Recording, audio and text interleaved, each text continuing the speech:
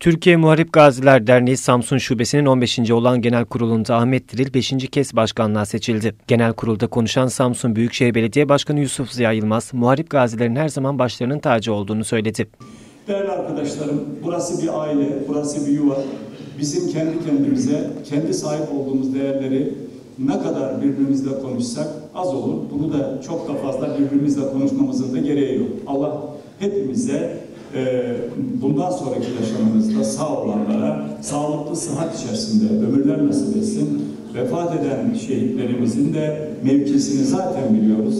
Allah onların mevkisinin şefaatinden bizleri de mahrum etmesin diye düşünüyorum ve böyle dua ediyorum.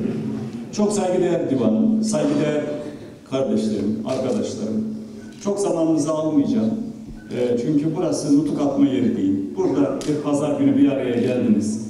E, dostluklarınızı ve arkadaşlıklarınızı pekiştirerek bundan sonraki dönem içerisinde Malik gazilerimizin yönetiminin netleşeceği, bu yönetiminin yeni kadrolarının belirleneceği bir olan kongre yapıyorsunuz, olan genel kurul yapıyorsunuz adını ne koyuyorsanız. Allah bunu hayırlı ve uğurlu etsin. Ben her halükarda her zaman olduğu gibi sizinle beraber olmak zorundayım. Olmak zorundayım. Öyle olacağım, olacağım değil. Olmak zorundayım.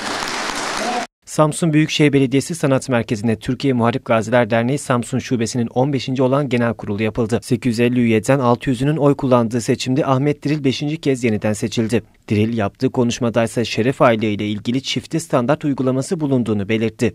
Şeref aylıkları ile alakalı çifte standart uygulamasına tepki gösteriyorlar. Yani şeref aylığı dediğimiz o bizim onurlu aylığımız.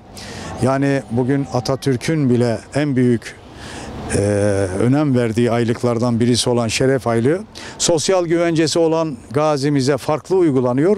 Sosyal güvencesi olmayan gazimize farklı uygulanıyor. Bu da bizleri derinden üzüyor. Yani şeref aylığı taltif mahiyetli, şeref mahiyetli verilen bir aylık.